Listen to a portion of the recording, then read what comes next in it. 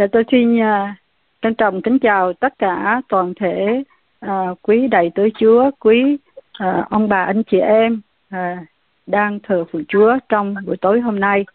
Uh, trước tiên dâng lời vui mừng tạ ơn Đức Chúa Trời đã cho tôi cơ hội để cùng tiếp tục hầu vị Chúa với quý vị và cảm ơn tất cả quý vị đã uh, cùng với tôi cho phép tôi được cùng nhau để hầu học lời Chúa trong buổi tối hôm nay uh, trong Thi Thiên 23. À, trước tiên thì à, tôi cũng cầu xin Chúa chúc phước cho tất cả mỗi à, người được đầy ơn phước của Chúa và mỗi ngày ở trong sự yêu thương chăn giữ của Chúa là đấng chăn chiên hiền lành. À, tôi xin phép được cầu nguyện trước khi học lời của Ngài. Kính lạy Đức Chúa Trời là Cha yêu quý của chúng con, con dâng lời vui mừng tạ ơn Cha ở trong cuộc đời thầy Chúa của chúng con. Chúng con biết rằng Chúa là đấng yêu thương, chăn dắt cuộc đời chúng con từng giây từng phút vì Chúa là đấng nhân từ thương xót thành tín còn đến đời đời. Chúa đã tạo nên chúng con và ta và đã cứu chuộc chúng con qua um, Chúa Giêsu Christ là con độc sanh Đức Chúa Trời giáng sinh chịu chết để chuộc tội cho chúng con. Ngài đã vì chiên mình phó sự sống mình. Ngày hôm nay chúng con học bài học để Chúa là đấng chăn giữ tôi. Xin Chúa Thánh Linh hãy dạy dỗ con mỗi người chúng con qua phân đoạn kinh thánh này để biết ơn Ngài và hết lòng tin cậy Chúa đã đấng chăn giữ chúng con. Chúng con sẽ không thiếu thốn gì. Chúng con thể tin cậy và kinh nghiệm tình yêu Ngài cho đến khi gặp Ngài và hưởng phước lành của Chúa trọn vẹn. Tạ ơn Cha. Xin ở cùng con và tất cả người nghe. Xin hướng dẫn, bởi tinh linh là thần lẽ thật chúc phước cho chúng con trong giờ phút này. Chúng con thành tâm đầu phục Chúa và cầu nguyện. Nhân danh Chúa Giêsu Christ. Amen.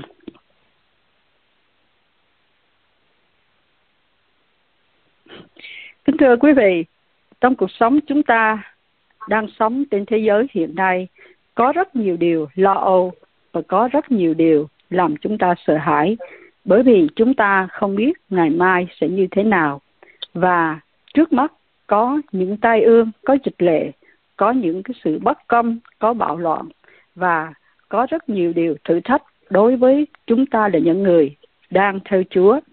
Bây giờ chúng ta tin cậy nơi Chúa, bởi vì biết rằng Chúa yêu thương chúng ta đời đời. Và lời Chúa hứa trong Thi Thiên 23 là một Thi Thiên mà tôi được Chúa dạy dỗ rất là nhiều. Trong, từ lúc là một người, một em bé cho đến khi lớn, tôi cũng thường đọc thi thiên này. Nhưng mà khi tôi học lại, thì mỗi lần học lại tôi lại thấy rằng cuộc đời của tôi học được rất là nhiều điều quý báu từ nơi Chúa và kinh nghiệm được tình yêu của Chúa trong Thi Thiên 23 một cách diệu kỳ hơn. Tôi tin chắc rằng quý vị đã từng học và đã từng biết Thi Thiên này thuộc nằm lòng. Nhưng mà chúng ta càng học, chúng ta sẽ hiểu Chúa, chúng ta là đấng yêu thương chúng ta như thế nào. Chúa là đấng chăn giữ tôi, tôi sẽ chẳng thiếu thốn gì. Thi Thiên 23 câu 1 đó là câu chủ đề chúng ta học trong tối hôm nay. Chúng chúng ta sẽ cùng suy nghĩ và tìm hiểu trong cái phần học kinh thánh tối hôm nay. Đấng chân giữ tôi là ai? Và làm thế nào để tôi được ở trong sự chân giữ của Chúa? Và điều thứ ba, Chúa chân giữ tôi như thế nào? Thưa quý vị, nghề chăn chiên ở bên nước Do Thái rất là phổ thông. Ngày xưa chúng ta thấy à, con chiên được nhắc đến ở trong thời cựu ước. Lúc mà à, chúng ta thấy người bắt đầu chăn chiên đó là Aben, con Adam. Và rồi nghề này phát sinh mãi tiếp đến đời Abraham, rồi đến Rachel, người phụ nữ cũng chăn chiên, đến Gia Cốt, cho đến môi sa cũng là người chăn chiên. Và sau đó tiếp theo có nhiều người khác nữa đặc biệt vua David cũng là người chăn chiên và trở thành một vị vua đại ơn và nổi tiếng. Rồi chúng ta thấy cuộc sống của những người chăn chiên thì tiếp tục à, người do thái họ vẫn còn làm cái nghề đó là vì có ừ, một cái nghề sinh sống và sống trong cái trại chăn chim thì nó hôi hám. Cho nên lúc đó người ai cập họ không có thích người do thái và người do thái phải sống riêng một xứ vô sen. À, nhưng mà chúng ta thấy cái nghề chân chiên nó phổ thông bởi vì nó có một ý nghĩa. Và chính Chúa cũng dùng cái hình ảnh đó để dạy cho chúng ta biết về uh, sự yêu thương của một người chăn đối với con chiên là như thế nào? Thì đây chúng ta hiểu rằng con chiên thì nó luôn luôn là một à, à, một con vật mà có một cái tính tình hiền lành và hoang dại và nó rất là sợ kẻ thù và nó không tự bảo vệ nó được. Nó cũng không thể tự lo cho nó được. Nó cần phải có một người để chăm nó chăm sóc nó bảo vệ nó lo cho nó từng thức ăn từng cái chỗ ngủ và lúc đau cũng cần cái người chăn để chăm sóc nữa. Thì đây là một hình ảnh mà uh, Chúa Chúa đã ví dụ nói về hình ảnh một con chiên cần được chăm sóc và con chiên đó chính là chúng ta là những tội nhân đang hư mất lầm lạc đang sống trong sự đau khổ và không thể tự cứu mình ra khỏi tội cũng thể lo cho cuộc đời mình được. Nhưng cần một cái đấng chân chiên.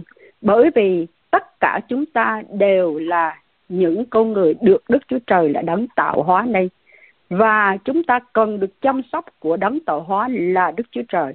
Và chúng ta cần được yêu thương, bảo vệ cũng là Đức Chúa Trời.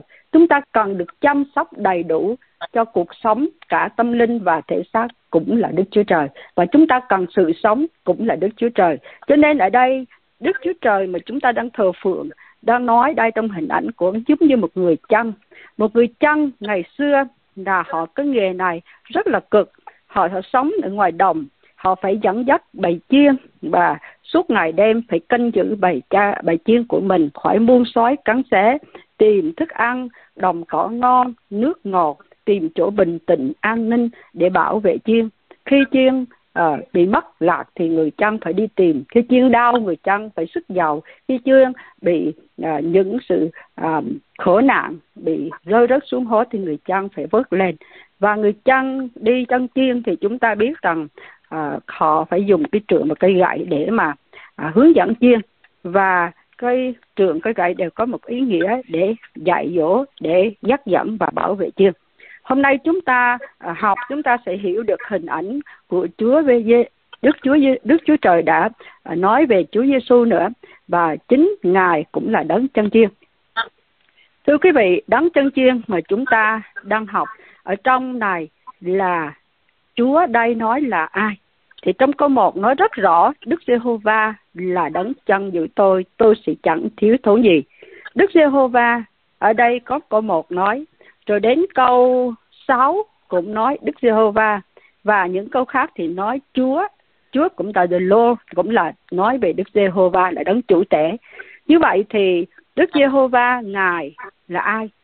Ngài là đấng chăn giữ tôi. Hình ảnh đây là nói về ngài là đấng à, à, là Đức Chúa Trời là đấng tạo hóa nên vũ trụ muôn vật. Khi nói đến Đức Chúa Trời là nói đến Elohim tức là nói về ba ngôi Đức Chúa Trời, Chúa Cha, Chúa Con, Chúa Thánh Linh đã đồng công tạo nên thế giới này. Ở trong sáu ngày ngày nghỉ à, là ngày thứ bảy và ngày nay chúng ta cứ sống mỗi ngày sáu ngày chúng ta làm việc một ngày chúng ta nghỉ thờ phượng Chúa. Đó là Đức Chúa Trời đã sắp đặt quy định cho con người và con người được Chúa tạo nên và Chúa đã đấng ban hơi thở. Chúa tạo nên con người chúng ta bằng bằng bằng, bằng loài bằng um, bằng um, một à, à, hình thể giống như đức à, gọi là hình ảnh giống đức chúa trời. Ở trong tâm tư ý tưởng tình cảm thánh khiết nhưng mà con người đã phạm tội và xa cách đức chúa trời. Cho nên bây giờ trở thành những con người tội lỗi và gian ác. Nhưng mà chúng ta khác loài vật vì chúng ta có linh hồn. Chúa tạo nên chúng ta có một thể xác được bằng bụi đất và chính Đức Chúa ba thở hơi thở ngài vào trong à, con người. Và hai người đầu tiên Adam Eva đã có sự sống. Và từ đó trở đi có nhân loại chúng ta được tiếp tục sống ở trên thế giới này. Và sinh sôi nảy nở ra đó là do Đức Giê-hô-va tạo nên chúng ta. Và ngài là đấng sức mạnh. Nói về Đức Chúa Trời là ngài là Elohim tức là sức mạnh là tối cao là à, toàn năng là đấng mà không ai sánh bằng ngài. Và ngài là Đức Giê-hô-va là đấng từ hữu hoàng hữu là đấng hằng à, à, hằng sống tự có và đã có à, hiện có và còn đến đời đời. Ngài là đấng à, không hề thay đổi thành tín giữ giao ước và yêu thương đời đời đối với những người nào yêu mến thờ phượng ngài. Và chính ngài là đấng tự bày tỏ cho con người, tìm kiếm con người để cứu con người. Chúng ta thấy được điều này là bởi vì Đức Chúa Trời đã thể hiện qua những câu chuyện trong Kinh Thánh. Khi Ngài cứu Adam Eva, khi Adam Eva lầm lạc tội lỗi, thì Đức Giê-hô-va không bỏ mặc nhưng mà Ngài đã đến tìm hai người trong vườn Eden để kêu, để tìm và để tha thứ rồi Ngài cũng có một chương trình cứu rỗi cho con người qua Đức Chúa Giêsu giáng sinh để chịu chết chuộc tội cho Adam Eva cũng như cả thế giới ngày hôm nay. Đó là lời hứa của Đức Chúa Trời đã hứa từ ban đầu và đã thực hiện qua sự giáng sinh của Chúa Giêsu. Cho nên ở trong Kinh Thánh, đó chúng ta thấy Đức Chúa Giêsu Christ là đấng chân chiên. Ở đây Đức Giê-hô-va là đấng chân chiên, nhưng mà Đức Giê, Đức Chúa Giêsu ngài cũng là đấng chân chiên. Vì sao? Ở trong văn chúng ta thấy trong văn đoạn 10 thì Chúa Giêsu đã ví sánh về Chúa là đấng chân chiên hiền lành. Hình ảnh của người chăn đầu tiên mà nói ở trong sáng thế ký trở đi à, trong cựu ước là nói về Chúa Giêsu là đấng chân chiên và Chúa là đấng đã đến thế gian và ngài nói ta là người chăn hiền lành vì chuyên mình à, vì à, vì chuyên mình mà phó sự sống mình. Tức là ngài đến để tìm và cứu những kẻ bị hư mất và ngài đến để mà để chết chuộc tội cho nhân loại. Ở đây chúng ta hiểu được là đây là một chương trình mà Đức Chúa Trời đã sắp đặt qua Chúa Giêsu sẽ giáng thế để mà cứu chúng ta và Ngài là đấng đến để tìm những con chiên lạc, những tội nhân hư mất để cứu chúng ta. Khi chúng ta học Đức Giê-hô-va là đấng chân chiên, chúng ta thấy à, trong Kinh Thánh có nói những cái câu rất là cảm động. Bởi vì ngày xưa Chúa cho chúng ta thấy rằng ở trong à, sáng thế ký à, đoạn 48 câu 15 à, khi mà à, ông Gia Cốp cầu nguyện với Chúa ông nói gì ông cầu xin Đức Trời mà tổ phụ tôi là Abraham và Isaac đã thờ phượng. Là Đức Chúa Trời đã chăn nuôi tôi từ khi mới lọt lòng mẹ cho đến ngày nay. Tức là cuộc đời con người được sinh ra, được chăm sóc, được nuôi dưỡng à, được lớn lên, rồi có một cuộc đời à, cho đến khi nhắm mắt. Đó là do một đấng chăn nuôi, đấng tạo hóa là Đức Chúa Trời đã chăn dắt và chăm sóc. Còn nói về những người thờ phượng Chúa hay là dân sự của Chúa thì Kinh Thánh nói như thế nào? Nói trong đi thiên 79 câu 13. Còn chúng tôi là dân sự Chúa và là bầy chiên của đồng cỏ Chúa. Chúng tôi sẽ cảm tạ Chúa mãi mãi. Từ đời này qua đời kia chúng tôi sẽ truyền ra sự ngợi khen Chúa. Cảm ơn Chúa. Rồi chúng ta thấy Kinh Thánh cho chúng ta thấy rằng Ngài, Ngài đã đấng bồng ẩm, dắt chiên từ từ. Ngài yêu thương và Ngài cũng nói rằng chính ta ấy chúng ta sẽ chăn chiên ta và cho chúng à, nằm nghỉ. Chúa Giê-hô-va phán vậy ta sẽ tìm con nào đã mất dắt về con nào đã bị đuổi rịt thuốc cho con nào bị gãy và làm cho con nào đau được mạnh. ECJ đoạn 34 câu 16 15 đến 16 đây là một điều mà chúng ta thấy tình yêu của Chúa. Ngài không muốn bỏ một người nào thế gian để chết mất. Ngài muốn mọi người được cứu rỗi, cho nên Ngài đã viết sánh hình ảnh của Chúa là đấng chân chiên, yêu thương và chăm sóc hơn cái người chân chiên nữa không phải chúa giống như cái hình ảnh người chân chiên người do thái nhưng mà ý nói về cái người chân chiên yêu thương chiên thế nào chúa yêu còn hơn như thế đó nữa và à, chúa phải phó cái mạng sống để chết cho chiên nữa. Và chúa giêsu ngài là đấng đã đến và ngài đã phán rằng ngài là đấng chân chiên ngài là cửa của chiên. Chúng ta thấy rằng trong kinh thánh khi chúng ta đọc đoạn gian đoạn 10 chúng ta rất cảm động về tình yêu của Chúa đối với chúng ta. Chúa Giêsu là ai? Ngài là con Đức Chúa Trời. Ngài chính là Đức Chúa Trời từ thiên đàng nhưng mà Ngài phải giáng thế làm người Ngài đã sinh ra trong nơi chuồng lừa chỗ súc vật ở và nằm trong án cỏ. Và chúng ta thấy ngài đã hạ mình lấy hình tôi tớ giống như loài người sống trong sự um, nghèo hèn vì cớ chúng ta. Rồi ngài lớn lên để ngài giảng đạo và ngài đi tìm cứu từng con chiên ngài yêu thương tất cả mọi người trên thế gian. Cho nên ngài đến từ trời mà ngài đã hạ xuống dưới đất này để làm người thấp hèn để ngài tìm ai? Ngài tìm những tội nhân hư mất và ngài muốn cứu họ đem họ trở về. Thờ phượng đức chúa trời thờ phượng à, đức chúa trời là đức chúa cha mà đã sai ngài đến thế gian để được cứu rỗi được tha thứ được hòa thuận với đức chúa trời hầu cho không bị ở trong hình phạt. Bởi vì vì kết quả của tội lỗi là sự chết vì mọi người đã đã phạm tội thiếu mất sự vinh hiển của đức chúa trời cho nên, tiền công tội lỗi là phải chết chết cả linh hồn, chết thể xác và nhắm mắt qua đời vào ở đâu sẽ ở trong chết đời đời là linh hồn và thể xác sẽ vào địa ngục khi ngài Chúa Giêsu tái lâm. Cho nên chúng ta thấy Kinh Thánh nói Chúa Giêsu như thế nào? Matthew đoạn 9 câu 35 đến câu 36. Đức Chúa Giêsu đi khắp thành các làng dạy dỗ trong các nhà hội giảng tin lành Đức Đức Chúa Trời và chữa lành các thứ tật bệnh. Khi Ngài thấy những đám dân đông thì động lòng thương xót vì họ cùng khốn và tan lạc như chiên không có kẻ chăn. Ngày hôm nay, Chúa cũng yêu thương và chờ đợi hết thảy mỗi người chúng ta. Ai là chiên lạc, hãy trở về với Chúa để được Ngài tha thứ. Bởi vì Ngài đến tìm chúng, những con chiên lạc mắt mà Ngài phải chính Ngài phải dâng cái mạng sống của Ngài chết trên thập tự để chuộc tội cho chúng ta. Vì Đức Chúa Trời yêu thương thế gian đến nỗi đã ba con một của Ngài, hầu cho hệ ai tin con ấy không bị hư mất mà được sự sống đời đời.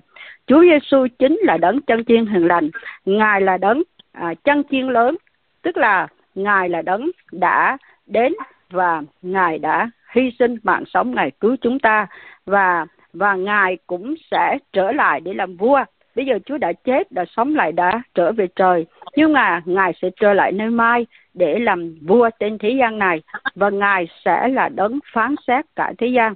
Và Ngài hứa với chúng ta rằng khi Ngài Chúa trở lại, Ngài sẽ đem chúng ta vào thiên đàng sống với Chúa. Tại vì khi vào thiên đàng sống với Chúa thì tại đó Chúa nói rằng à, chiên con sẽ ở giữa ngôi, sẽ chăn giữ à, và đưa chúng đến những suối nước sống. Đức Chúa Trời sẽ lao hết nước mắt nước mắt chúng. Hãy quyền đoạn 7 câu 17. Chúng ta cảm ơn Chúa bởi vì ngày hôm nay chúng ta đau khổ, chúng ta sống trong tội lỗi và có nhiều tai ương, có nhiều tai họa nguy hiểm. Nhưng mà chúng ta có Chúa ở cùng là đấng chân giữ thì chúng ta bình an và chúng ta thuộc về Ngài vì chúng ta đã tin Ngài thì Chúa sẽ dẫn chúng ta vào thiên đàng sống với Chúa và không còn đau khổ nữa. Đó là điều chúng ta vui mừng tạ ơn Chúa. Và um, làm thế nào? Bây giờ chúng ta thấy cuộc đời của chúng ta đã biết Chúa là đấng yêu thương, chăn giữ chúng ta và muốn tìm cứu chúng ta và đã hy sinh mạng sống để cứu chúng ta thì bây giờ chúng ta phải làm sao để chúng ta có Chúa trong đời sống thì mới thuộc về Ngài thì mới chăn giữ chúng ta ở trong đường lối của Chúa được. Chúng ta biết rằng à, người người chăn thường thường đi trước và con chiên thì nói theo sau. Ở trong Kinh Thánh gian đoạn 10 Chúa cũng nói lại à, Chúa đi trước và con chiên của Ngài theo sau. Ngài biết hết sánh về câu chuyện người chăn chiên và bây giờ người người chăn đi trước con chiên theo sau. Nhưng mà con chiên đó nó phải thuộc về cái bài chiên à, của cái đấng của cái người chăn chiên thì mới có thể uh, theo sự hướng dẫn của vị chăn chiên đó. Ở đây kinh thánh nói rõ đức giê-hô-va là đấng chăn giữ tôi tôi sẽ chẳng thiếu thốn gì. Có nghĩa là chúa là đấng chăn chiên hiền lành yêu thương phó mạng sống cứu chuộc tôi để cho tôi được sống. Tôi không phải chết nhưng mà tôi muốn thuộc về ngài thì tôi phải tin nhận Chúa Giêsu là Chúa của mình. Bởi vì nếu chúng ta không tin ngài thì chúng ta không thuộc về ngài. Cho nên ở đây kinh thánh Chúa Giêsu đã nói rằng câu gian đoạn 10 câu 7 Đức Chúa Giêsu lại phán cùng họ rằng, quả thật quả thật, ta nói cùng các ngươi, ta là cửa của chiên, hết thảy những kẻ đã đến trước ta đều là quân trộm cướp, nhưng chiên không nghe chúng nó ta là cái cửa nếu ai bởi ta mà vào thì sẽ được cứu rỗi. Họ sẽ vào ra và gặp đồng cỏ. Kẻ trộm chỉ đến để cướp giết và hủy diệt còn ta đã đến hầu cho chiên được sự sống và sự sống dư dật. Ma quỷ là kẻ gây đến sự chết và đau khổ và những điều um, tai ương uh, khổ nạn cho con người trên thế gian này. Bởi vì ma quỷ là kẻ phạm tội đầu tiên và muốn con người đi vào sự chết với nó trong hồ lửa đời đời. Nhưng mà Chúa Giêsu đến Ngài không muốn chúng ta chết thì chính Ngài phải hy sinh mạng sống Ngài để mà ngài phải chết cho cho chiên.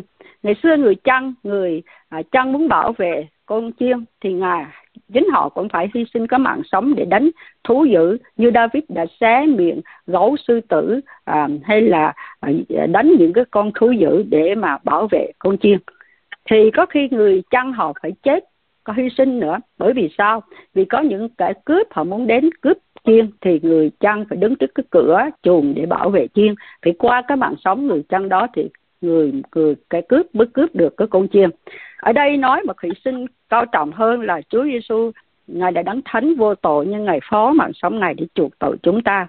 Cho nên ngài là cái cửa là cứu rỗi cho chúng ta nếu chúng ta đến tin ngài chúng ta sẽ được tha thứ và chính ngài ban sự sống cho chúng ta bởi vì chúa đến để ban sự sống và sự sống sung mãn cho những kẻ tin ngài và ngài chính ngài phải đổ mạng sống ngài để cứu chúng ta cho nên ở đây chúng ta muốn thuộc về ngài thì chúng ta phải hiểu rằng Đức Giê-hô-va là đấng chăn giữ tôi. Chữ tôi có nghĩa là Ngài phải thuộc về tôi.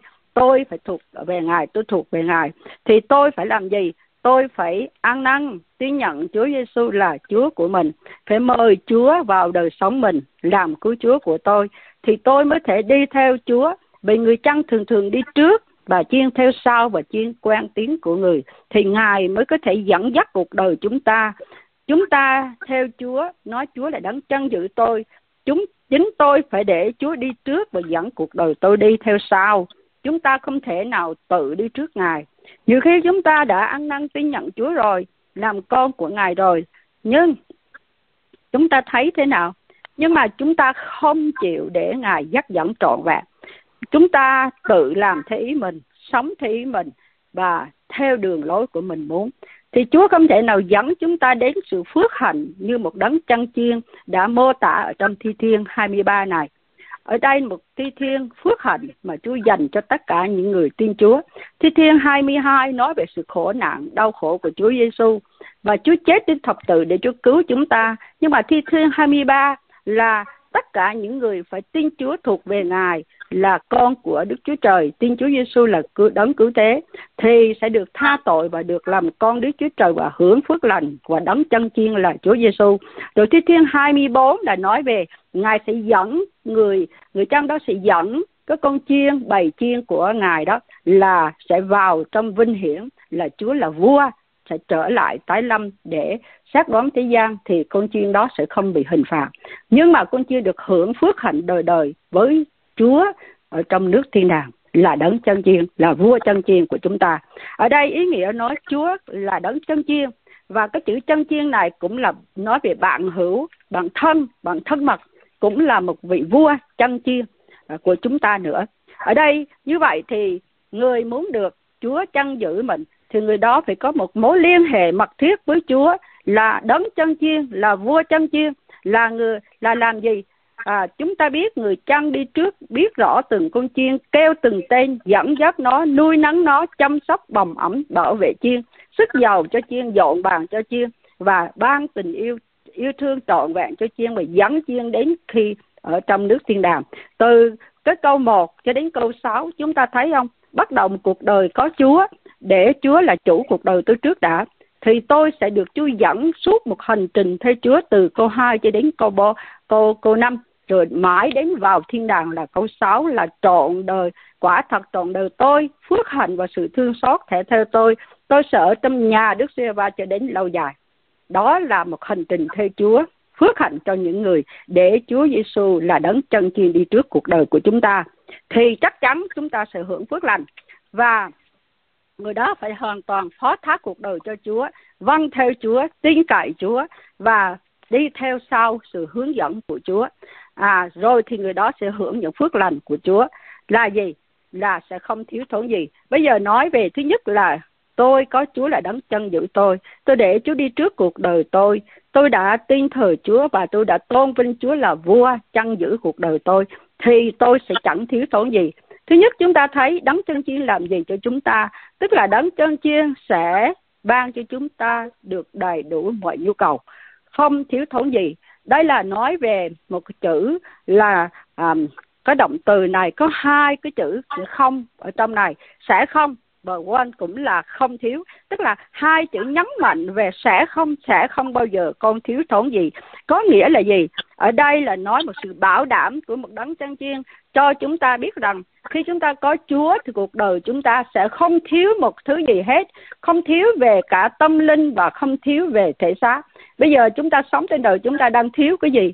Người thì thiếu tình yêu, người thì không được yêu thương, người thiếu tình yêu, người thì thiếu vật chất, người thì thiếu sự bình an, phải không? Người thì thiếu uh, nhiều thứ mà mình mong ước mà uh, nhất là cái tâm hồn của mình đó, nó không được uh, sự trong sạch tức là đời sống của họ lúc nào cũng bị cắn đứt phải không đó tức là không có cái sự thánh khiết cũng là thiếu thốn và sợ hãi biết bao nhiêu điều uh, chung quanh cũng là điều làm chúng ta lo lắng. Bao nhiêu điều thiếu thốn trong cuộc đời chúng ta ai là đấng sẽ bù đắp cho chúng ta? Có nhiều người họ không có cơm ăn áo mặc có những người họ họ phải làm lụng cực khổ à, phải đổ mồ hôi sôi nước mắt mà cuộc đời vẫn thiếu thốn. Chúng ta thấy ở đây nói về sự cung ứng tất cả mọi nhu cầu vả tâm linh và thể xác cho con người chỉ có một đấng duy nhất đó là Đức Chúa Giê-hô-va tức là Đức Chúa Giêsu Christ, con độc sanh của Ngài đã giáng sinh để ba, để chết và đã sống lại để ban sự sống đời đời cho chúng ta và ban sự sống sung mãn cho những kẻ tin cậy Ngài và thờ phượng Ngài. Ở đây, đấng chân giữ cô không thiếu thốn gì. Đây nói về một hình ảnh ngày xưa mà ông Abraham đã dâng đứa con của ông tên là tên Isaac trên núi Moria để làm của lễ dân Đức Chúa Trời. Nhưng mà một điều là đặc biệt là à, không biết như thế nào chúng ta thấy câu chuyện này là Chúa không phải muốn ông giết con ông nhưng mà một sự để thử đức tin ông có vâng lời Chúa không? Thì ông Abraham trong ngày đó ông chỉ nói với đứa con của ông là uh, uh, con của ông hỏi của lẽ đâu mà dâng cho Chúa? Thì Abraham đã nói rằng chính Đức Giê-hô-va sẽ sắm sẵn chiên con sẽ sắm sẵn tại đó là tại đó và chính cái lời nói của ông là nói lên là đây là Đức Giê-hô-va Jireh. Đức Giê-hô-va đã sắm sẵn tại núi Moria, một con chiên để thế cho Isaac. Và ở đây nói về sự sắm sẵn của Chúa cho chúng ta.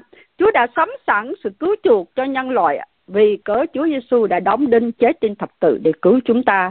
Ngày hôm nay chúng ta không cần nhờ công đức việc lành nữa. Chúng ta không cần tu tâm tích đức làm điều thiện nữa bởi vì Chúa Giêsu đã chết rồi, đã hy sinh rồi. Chúng ta chỉ có lấy đức tin ấy là nhờ ân điển bởi đức tin mà anh em được cứu. Điều đó không phải đến từ anh em. Bàn là sự ban cho của đức chúa trời. Ấy chẳng phải bởi việc lành đau hầu cho không ai khoe mình. Ở trong sơ đoạn 2 của 8 đến câu 9 chúng ta nhận biết đức tin đặt nơi chúa, chúng ta sẽ nhận tất cả sự tha thứ và sự phước lành chúa ban cho chúng ta. Rồi thì bây giờ chúng ta nhận được đức thánh linh ở trong đời sống khi chúng ta tin Chúa, Ngài an ủi, Ngài dạy dỗ, Ngài hướng dẫn chúng ta theo Ngài và Ngài sẽ làm cho chúng ta mỗi ngày được nên thánh, Ngài làm cho chúng ta đầy tình yêu, chúng ta đầy lòng yêu thương, vui mừng, bình an, nhịn nhục, nhân từ, hiền lành, trung tín mềm mại tiết độ. Khi người không tin Chúa thì họ không có đầy đủ những điều đó. Nhưng mà khi chúng ta có Chúa, Ngài cho chúng ta dư dật những cái điều vui mừng, ca ngợi, tạ ơn, chúng ta đã có một tình yêu của Chúa để thể yêu những người chúng ta không thể yêu được. Để chúng ta không thấy cuộc đời mình sợ hãi, thiếu thốn nhưng thấy tâm lòng bình an và thỏa lòng và bất cứ hoàn cảnh nào. Và tấm lòng chúng ta đầy trọn sự vui mừng của Chúa vì Chúa ngự trong cuộc đời của chúng ta. Và chúng ta thấy được tình yêu của Chúa ở trong cuộc đời mình. Và chúng ta có một niềm vui mà không ai thể thể nói được cái điều đó cho chúng ta, mà chỉ có Chúa cho chúng ta kinh nghiệm điều đó mà thôi à và bây giờ nữa, chúng ta sẽ thấy thế nào? Ở trong cái chữ này có một ý nghĩa là nói về dân Israel nữa. Ngày xưa, Chúa đã dẫn họ đi trong đồng vắng 40 năm mà họ không thiếu gì hết. Không thiếu bánh, không thiếu nước, rồi gì nữa? Không đau yếu, Chúa chữa lành cho họ. Rồi chân không phù, áo sống thì không rách. Như vậy thì cái chữ want đây có nghĩa là want, có nghĩa là không thiếu, không kém, không hư hỏng cái cuộc đời được Chúa Chúa chữa lành toàn vẹn mà Chúa cho không thiếu tâm linh vì có Chúa, mà cũng không thiếu vật chất mà không hư hỏng nữa. Ôi, đây là một điều lạ lùng quá. Chúng ta cảm tạ Chúa. Đó là một điều mà nếu ai để Chúa là đấng chân chiên cuộc đời mình, đi trước cuộc đời mình mình tin Chúa và phó thác cuộc đời cho Chúa, thì chắc chắn mình không những được phước mà Chúa bảo đảm cho chúng ta rằng chắc chắn con sẽ không thiếu tốn gì. Vì Chúa là Jehovah Jireh nhiều khi chúng ta làm một việc gì, chúng ta kinh nghiệm Chúa, đi trước. Chúa lo liệu, Chúa sắp cho chúng ta. Nhiều khi chúng ta tính không bằng Chúa tính, phải không quý vị? Nhiều khi chúng ta toan điều này, điều kia, nhưng mà Chúa đã sắp một cái điều kỳ diệu. Có những điều chúng ta tưởng rằng, tại sao Chúa đãi con để con cái chuyện đó khó quá, con làm không được? Tại sao con phải gặp cái trắc trở này? Nhưng mà không Chúa biết trước rồi và Chúa đã dọn sẵn cho chúng ta những cái phước lành mà chúng ta không thể ngờ tới được. Sau khi chúng ta qua điều đó chúng ta mới kinh nghiệm rằng thật Chúa là Jehovah Jireh của cuộc đời tôi. À, tôi cũng kinh nghiệm trong cuộc đời tôi khi tôi theo Chúa. Tôi cũng có những khó khăn trong đời sống. Và như tôi đi học kinh thánh thì tôi tôi lấy đức tin tôi đi. Một ngày kia thì từ Việt Nam đến Mỹ tôi chỉ xin Chúa hai điều. Điều thứ nhất cho con được lo cho đứa con con nó học nó vô đại học à, được trọn vẹn à, cho nó học cho thành đạt. Thứ hai cho con đi học kinh thánh hầu vì Chúa. Tôi sẽ xin hai điều. Tôi cảm ơn Chúa là tôi đến đây hai bàn tay trắng không có gì hết. Nhưng mà Chúa đã cho con tôi học bổng toàn phần và đi vô đại học tôi không cần lo một đồng bạc nào hết. Cảm ơn Chúa. Rồi bây giờ đến phần của tôi. Khi tôi nói tôi đi học kinh thánh có những người nói với tôi rằng đi học kinh thánh tốn nhiều tiền lắm mà tốn thời gian nhiều nữa, làm sao có đủ tiền mà đi học? Thì tôi đi, trong túi chỉ có một hàng ngàn hai đồng. Tôi mua một cái vé máy bay xong rồi tôi có một ngàn hai. Tôi cho đứa con trai vô trong trường đi học, là bỏ vô account của nó dưới trường Clemson University. Còn tôi một ngàn hai bỏ túi đi qua Cali học. Thì tôi lấy đức tin tôi nói, Chúa ơi, Chúa kêu con đi học lời Chúa. Chúa muốn sử dụng cuộc đời con con cảm ơn Chúa. Nhưng bây giờ con tin Chúa là Jehovah dọn đường cho con, sắp đặt cho con chỗ ăn, chỗ ở, chỗ học, trả tiền học cho con và nuôi con học cho đến khi con tốt nghiệp, con đi về, con hầu Chúa. Tôi chỉ nói vậy thôi và Chúa ban sức cho con để con học lời Chúa. Cảm ơn Chúa. Tôi đến một ngàn hai, tôi ở đâu được một tháng, hai tháng thì cũng hết. Trả tiền nhà, trả tiền học, đủ thứ hết. Rồi tôi đi làm part time, rồi tôi đi học full time. Tôi nói là nó cũng tắc bạc lắm nhưng mà tôi không hiểu tại sao Chúa nuôi tôi suốt 5 năm và Chúa cho tôi không thiếu thốn gì. Nhiều khi tôi còn trong túi có có mấy đồng bạc cỡ đâu năm à, à, bốn chục đồng có khi còn đâu có hai chục đồng. Nhưng mà Chúa lại tiếp trợ dư dật cho tôi hầu vị Chúa à, học kinh thánh và hầu vị Chúa. Đấy là một kinh nghiệm và nhiều điều khác nữa tôi không thể kể quý vị hết. Có đôi khi tôi tôi không hiểu tại sao Chúa thương tôi mà Chúa lo hết có những lúc những cái bill tiền trả tiền học tôi không thể nào tôi trả được. Tôi quỳ xuống tôi mở kinh thánh ra. Chúa ơi, Chúa nói với con, Chúa là đấng chân dự, Chúa chăm sóc con không thiếu thốn, Chúa tiếp trợ cho con. Con dâng cái bill này cho Chúa, con cầu nguyện cái bill này đây, Chúa trả cho con. Thì cảm ơn Chúa, sau khi tôi cầu nguyện thì có một vị um, ân nhân kêu tôi cho tôi một ngàn đồng để trả cái tiền học đó. Thì tôi nói với quý vị có nhiều điều lạ lùng trong cuộc đời. Chúng tôi chỉ biết kinh nghiệm là cảm ơn Chúa mà thôi bây giờ Chúa là đấng Chúa Chúa nói không thiếu tốn gì thì Chúa tỏ ra rất rõ ràng trong câu 2 đến câu 3. Tối hôm nay chúng ta không thể học hết nguyên một đoạn kinh thánh này. Tôi sẽ chia làm hai phần, sẽ nói phần sau nhưng mà tôi sẽ nói một vài ý nữa. Ở đây phần thứ hai, ngày khiến tôi an nghỉ nơi đồng cỏ xinh tươi, dẫn tôi đến mé nước bình tĩnh. Rồi ngày bổ lại linh hồn tôi dẫn vào các lối công bình vì cơ danh Ngài. Cảm ơn Chúa. Tiếp theo chúng ta học được rằng Chúa là đấng ban bình an cho tôi. Ngài Đức Giê-hô-va Salom, tức là cái tên danh hiệu của Chúa là uh, tiếng Hebrew Salom. Hồi nãy mình nói Đức Giê-hô-va Jireh là cũng là danh của Ngài là tiếng Hebrew, là Hebrew. Chúa ban bình an cho tôi. Cái sự bình an này là chữ an nghĩ là nói bình an. Bình an như thế nào? Tại vì chúng ta thấy con chiên á là nó cần người chăn dẫn đến mấy nước bình tĩnh để nó uống nước nhưng mà nó cũng cần cái đồng cỏ tốt để nó ăn. Nó không ăn, cỏ khô, cỏ cỏ dơ được, mà nó cần nước tốt nữa. Cho nên chúng ta thấy có những nước mà từ đến suối chảy xuống ngọt ngào và có cái đồng cỏ xanh tươi thì nó lại nó uống và nó ăn. Rồi nó nằm, nó ngủ nữa, nó nghỉ nữa. Ở đây cái chữ lie down này nghĩa là gì? Ở đây chúng ta thấy ở trong từ câu 2 đến câu 3 này á, thì dùng cái đại từ là he and me, uh, he and I, tức là nói về Chúa và tôi. Nhưng mà khi đi qua trụng bấm chết từ câu 4 đến câu 5 á, Chúa dọn bàn á, thì nói là you and me hình you and I, tức là hai người đi với nhau ở trong sự uh, liên hệ với nhau trong cái lúc mà mình đi qua khó khăn, Chúa đi cùng, Chúa không bỏ mình. Nhưng mà chúng ta học phần đó trong những ngày tới. Chúng ta học tối hôm nay, Chúa đi với tôi, Chúa Chúa dọn. Bây giờ Chúa làm gì? Chúa ban sự bình an cho tôi. Sự bình an tức là sự an nghỉ là chữ Chúa khiến tôi bình an. Chỉ có Chúa là đấng ban bình an mà thôi. Bây giờ, chúng ta sẽ suy nghĩ cái chỗ đây là ngày khiến tôi an nghỉ. Na là khiến tôi an nghỉ ở trong cái chữ um, cái chữ kinh thánh tiếng Anh là nói ngày khiến tôi an nghỉ. Nơi đồng cỏ xinh tươi là có nghĩa ngày khiến tôi nằm xuống đó. An nghỉ là nói một cái sự nằm xuống ngã lưng sau một mệt mỏi làm việc cần nghỉ ngơi an nghỉ là lie down. Chúng ta làm việc chúng ta mệt phải không? Chúng ta cần ngủ một giấc cho tỉnh và khỏe. Chúng ta đói chúng ta cần ăn. Ha? Bây giờ chúng ta biết như thế nào à, chúng ta học sẽ thấy được. Tại vì ở trong cái cuốn sách của ông uh, Philip Keller là nói về sự à, về người chân chiên thì ông này ông cũng là người đã từng làm nghề chân chiên một thời gian và ông có kinh nghiệm và ông viết lại.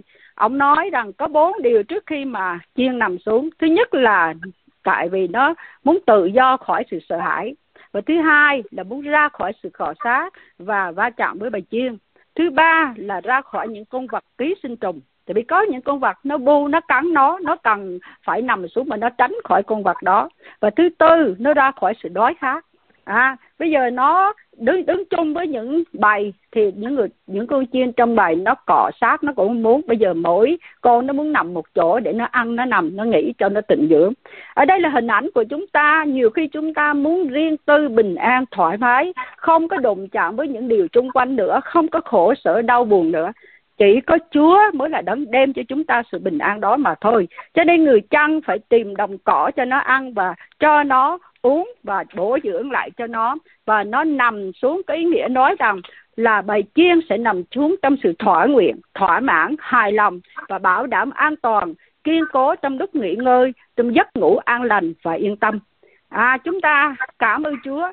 Chúa cũng có nói ở trong ECGN đoạn 34 câu 14 đến câu 15 ta sẽ chân chúng nó trong những đồng cỏ tốt và chuồng, chúng nó sẽ ở trên các núi nơi đất cao của sê đen ở đó chúng nó sẽ nghỉ trong chuồng tự chế và ăn cỏ trong đồng cỏ màu mỡ, tức là trên các núi sê đen ấy chúng ta sẽ chăn chiên cho chúng nó nằm nghỉ, chúa giê-hô-va phán vậy.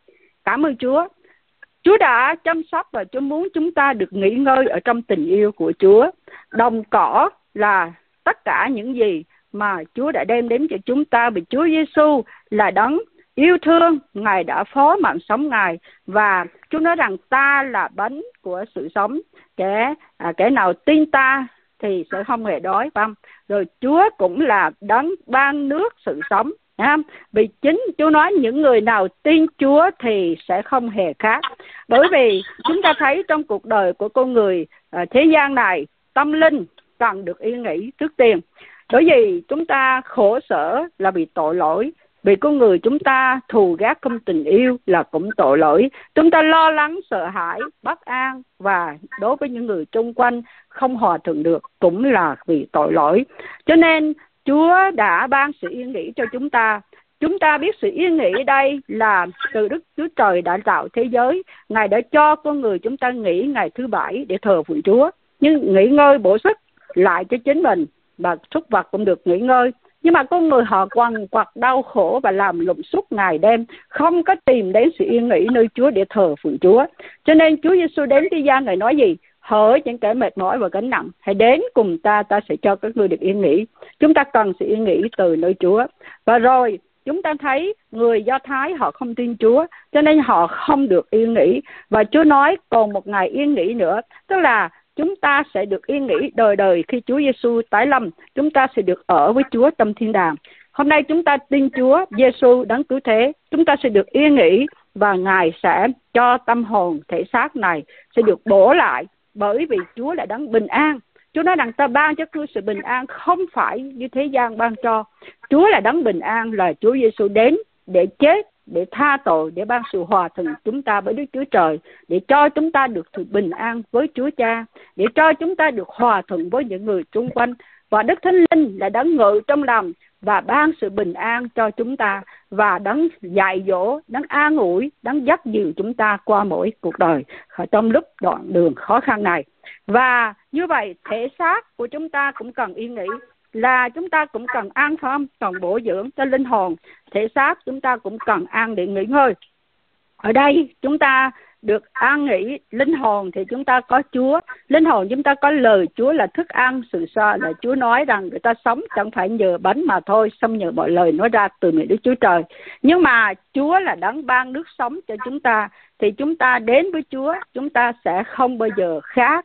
Giống như là và một người đàn bà à, Samari đã đến với Chúa và Chúa đến để làm thỏa mãn tâm linh của con người và thánh linh của Chúa cũng làm cho chúng ta được sống lại bởi Ngài ngự trong chúng ta. Nhưng mà ngày xưa Chúa cũng nói người Do Thái rằng các ngươi đừng có lo lắng ăn gì, uống gì, mặc gì. Các dân ngoại họ vẫn tìm điều đó. Nhưng Chúa hứa rằng những ai tìm kiếm với Đức Chúa Trời thì và nước Đức Chúa Trời và sự công bình của Ngài thì Ngài sẽ ban cho mọi điều ấy nữa. Chúa có kể câu chuyện về loài chim, loài hoa và Chúa nói rằng Chúa chăm sóc những loài cỏ, loài chim, loài hoa, Chúa đều chăm sóc. Huống gì chúng ta còn quý trọng hơn những loài đó. Và Ngài chỉ muốn chúng ta tìm kiếm Chúa trước hết thì chúng ta sẽ nhận được phước hạnh mà thôi. Cảm ơn Chúa. Ở đây chúng ta được Chúa nói rằng sư tự tôi bị thiếu và đói kém nhưng người nào tìm cầu đức giê va chẳng thiếu của tốt gì về người nào kính sợ chúa sẽ được thới thành cảm ơn chúa và Chúa không bao giờ bỏ chúng ta, chúng ta hãy trao mọi điều ở đấng mình cho Ngài, vì Ngài chăm sóc chúng ta. Ngày xưa, Chúa đã chăm sóc và Chúa đã nuôi dưỡng như tiên tri Eli, bà quá Saripta, Chúa cũng nuôi không thiếu thốn. Ngài cũng không bỏ chúng ta đâu chúng ta hãy trao hết điều lo lắng mình cho Chúa, Chúa sẽ nâng đỡ chúng ta. Và chúng ta chỉ có một điều là khao khát Chúa, tìm Chúa, như con con này cá cái thèm khát khe nước và chúng ta sẽ được thỏa mãn tâm hồn thì chúng ta có Chúa là đấng ngự trong chúng ta. À, như vậy thì à, Chúa rất yêu thương chúng ta. Trong buổi tối hôm nay chúng ta thấy rằng chúng ta chỉ học hai câu thôi. Chúng ta sẽ học tiếp những ngày tới. Về Đức Giê-hô-va là đấng chăn giữ tôi tôi muốn có Chúa chăn giữ tôi thì cuộc đời tôi trước tiên tôi phải tin nhận Chúa Giêsu là đấng cứu thế của mình. Thứ hai, tôi phải hoàn toàn dâng trọn đời sống này để Chúa đi trước dẫn tôi theo sau Ngài. Tôi tin cậy Ngài, tôi vâng phục Ngài và chắc chắn Ngài sẽ bảo đảm cho tôi. Đó là Ngài là Đức Giê-hô-va Gi-rê, Ngài sắp đặt tất cả mọi điều trên cuộc đời tôi từ việc nhỏ đến việc lớn. Ngài yêu tôi, Ngài hy sinh và sắm sửa sự sống sự cho tôi qua Đức Chúa Giêsu Christ chết trên thập tự rồi thì Ngài cũng chẳng tiếc gì cho tôi cả. Ngài sẽ ban cho tôi tất cả mọi điều nhu cầu cung ứng của cuộc đời tôi từ tâm linh cho đến vật chất. Và Ngài sẽ là Ngài là đấng ban bình an cho tôi cả tâm linh và thể xác. Chúa là đấng bình an và Chúa hứa rằng ta này và này ta thường ở cùng các ngươi luôn cho đến tận thế. Ngài sẽ chăm sóc và dẫn chúng ta đến đồng cỏ xanh tươi là mé nước bình tĩnh chỉ có chúa là nơi an nghỉ cuộc đời chúng ta và chỉ có Chúa mới làm ta thỏa mãn, chỉ có lời Chúa mới làm chúng ta được sống lại, chỉ có Chúa mới là đấng ban sự sống đời đời cho chúng ta mà thôi. Tối hôm nay tôi mong rằng lời Chúa đến với tất cả quý vị và chính mình tôi. Xin Chúa hãy giúp đỡ cho chính tôi và quý vị hãy hết lòng yêu mến Chúa và dâng cuộc đời này cho Chúa để đi theo Chúa và chờ đợi một ngày nào đó Chúa trở lại thì chúng ta sẽ được sống với Chúa trong thiên đàng và tại nơi đấy chúng ta không còn đói khát, không còn khổ sở vì có Chúa đã đấng chăn kiên ở với chúng ta suốt đời. Muốn thật hết lòng. Amen. Xin chúng ta mỗi người đến với Chúa giờ phút đây. Xin chúng ta hướng lòng về Chúa chúng ta suy nghĩ về những điều mà Chúa dạy dỗ chúng ta trong buổi tối hôm nay. À, chúng ta à, nhận được điều gì? Chúng ta có tin cậy vào Chúa là đấng chăn chiên của cuộc đời chúng ta không? Chúng ta có bằng lòng để Chúa là đấng chăn chiên đi trước để dẫn cuộc đời chúng ta theo sau Ngài không? Nếu chúng ta để Ngài đi trước cho cuộc đời chúng ta thì chắc chắn rằng chúng ta không thiếu thốn gì. Khi nãy tôi đã trình bày, chúng ta mới học có hai câu, nhưng mà chúng ta học hết chúng ta sẽ thấy Chúa dẫn cuộc đời chúng ta đi một đoạn đường hành trình theo Chúa là từ lúc bắt đầu cho đến khi gặp Chúa trong thiên đàng là quả thật trọn đời. Tôi phước hạnh và sự thương xót sẽ theo tôi. Tôi sẽ ở trong nhà Đức giê va cho đến lâu dài. Chúng ta sẽ học nữa, chúng ta sẽ thấy Chúa sẽ là đấng đấng mà phục hồi, tâm linh tôi, Chúa là đấng công bình, dẫn tôi vào đường lối của Ngài để sống thánh sạch. Chúa cũng sẽ ở cùng tôi, không bỏ tôi một mình. Cô đơn như khi nãy tôi nói rằng, Chúa đi với tôi tôi với Ngài hai người cùng đi qua trụng bấm chết. Ngài không bỏ tôi. Và ngài an ủi tôi. Ngài sửa dạy được ngài cũng an ủi tôi. Rồi ngài cũng chiến thắng kẻ thù nghịch cho tôi. Rồi ngài coi trọng tôi. Ngài quý trọng tôi. Ngài sức giàu cho tôi. Ngài cung cấp cho tôi đầy đủ. Và ngài đem tôi vào nhà của chúa để tôi sống với chúa trọn đời, phước hạnh. Đó là những điều quý báu trong thiên 23 chúng ta sẽ học tiếp những ngày tới. Nhưng mà tối hôm nay, quý vị ơi ai là người chưa thật sự có Chúa là đấng chăn giữ cuộc đời mình.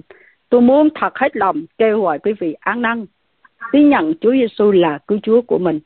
Lời hứa Chúa bảo đảm rằng Đức Giê-hô-va là đấng chăn giữ tôi, tôi sẽ chẳng thiếu thốn gì. Và chắc chắn những người theo Chúa đều kinh nghiệm cái điều này. Chính tôi đã kinh nghiệm. Và nếu quý vị chưa để Chúa đi trước, cuộc đời tôi vẫn đau khổ, cuộc đời tôi vẫn còn những sự khó khăn, cuộc đời tôi chưa thấy được câu giải đáp từ nơi Chúa. Tôi đã cầu nguyện rất là nhiều, tôi chưa thấy Chúa trả lời. Tối hôm nay quý vị ơi, hãy coi lại. Chúng ta để Chúa ở đâu? Chúng ta có để Chúa đi trước và tôi đi theo sau Chúa không? Bởi vì lời Chúa hứa trong Kinh Thánh rất là rõ ràng. Tôi đọc ở đây để quý vị thấy Chúa nói gì.